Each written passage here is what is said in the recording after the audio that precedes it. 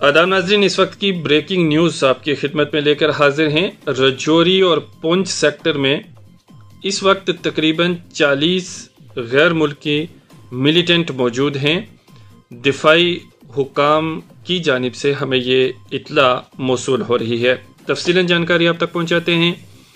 پاکستان کی حمایت یافتہ ملیٹنٹوں کی طرف سے جموں سیکٹر میں پیر پنچال رینج کے جنوب میں واقع علاقوں میں ملیٹنسی کو بحال کرنے کی حالیہ کوششوں کے درمیان یہ بات سامنے آ رہی ہے کہ اس علاقے میں تقریباً پینتیس سے چالیس غیر ملکی ملیٹنٹ سرگرم ہیں اور ان میں دو تین ملیٹنٹس کے گروپ میں یہ مختلف علاقہ جات میں بٹے ہوئے ہیں۔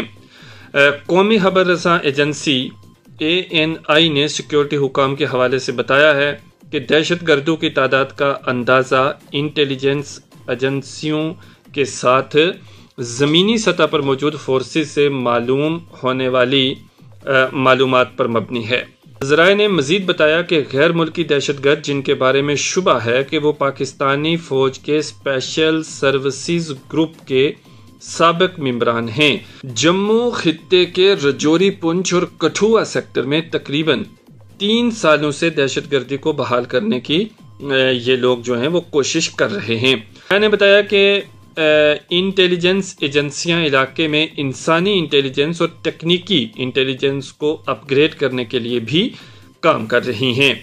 فوج نے پچھلے چند مہینوں میں اضافی دستے بھی لائے ہیں جو علاقے میں کام کر رہے ہیں۔ ساتھ ہی، بڑی تعداد میں بختر بند گاڑیاں بھی یہاں پر موجود ہیں۔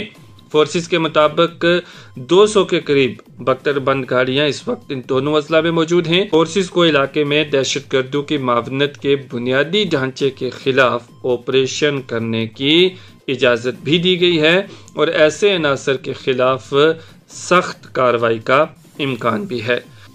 دفاعی حکام کی جانب سے جو انفارمیشن ہم تک پہنچی ہے، اس میں یہ بتایا جا رہا ہے کہ رجوری پونچھ اضلاع میں پینتیس سے چالیس غیر ملکی ملیٹنٹ سرگرم ہیں اور یہ ملیٹنٹ دو دو اور تین تین کے گروپس میں بٹے ہوئے ہیں، مختلف مقامات پر پھیلے ہوئے ہیں اور مختلف دہشت گردانہ ایکٹیویٹیز میں حصہ لے رہے ہیں۔ تاہم دفاعی حکام کی جانب سے یہ بھی بتایا گیا ہے کہ ان ملیٹنٹس کے کلا کما کے لیے فورسز کیا کر رہی ہیں اور آنے والے وقت میں فورسز کی بڑی اسٹریٹجیز جو ہیں وہ ان ملیٹنٹ کے خاتمے کے لیے تیار کی جا رہی ہیں اور حفاظتی عملے کو ایک طرح سے ملیٹنٹوں کے خلاف ایکشن کرنے کی کھلی چھوٹ بھی دی گئی ہے تاکہ وہ ان ملیٹنٹس کو ختم کر سکے۔